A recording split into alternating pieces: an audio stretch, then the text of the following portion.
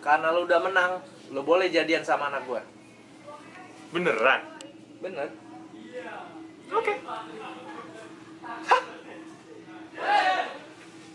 Ini. Apa ini? Cincin batu akik dari Gunung Bromo. So sweet. Nyanyi nyanyi.